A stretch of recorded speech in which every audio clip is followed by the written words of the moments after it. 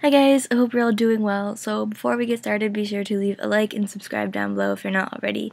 So I want to apologize for not filming in a few days. I've just been really busy with work and I, I'm not going to lie, I haven't really had much motivation for filming, but here's a new video, so yeah. Um, and sorry if my voice sounds a little weird. I went to a Five Sauce concert last night and it was amazing and I screamed a lot and yeah. Um, so if you guys saw Arzaylea's tweets, she deleted them, but I screenshotted them.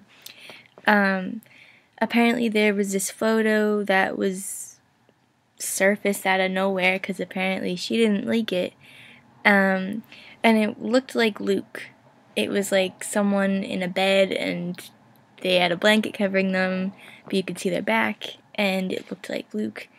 Um, and she said, I didn't take the photo, didn't leak it, stop blaming me, I love him and don't want any of this bullshit drama, please leave me alone. So then I found out that the photo is not actually Luke, it is some YouTuber in a vlog who doesn't speak English except for this.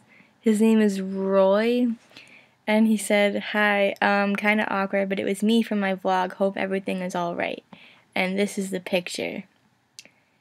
Um, so I don't know. I mean, if I were Arzaylea, wouldn't you know what your apartment looks like? I mean, um, if you live there, then like, I don't know, wouldn't you be able to tell if that's your apartment or not? So part of me feels like she lied about it to make drama because there really hasn't been much.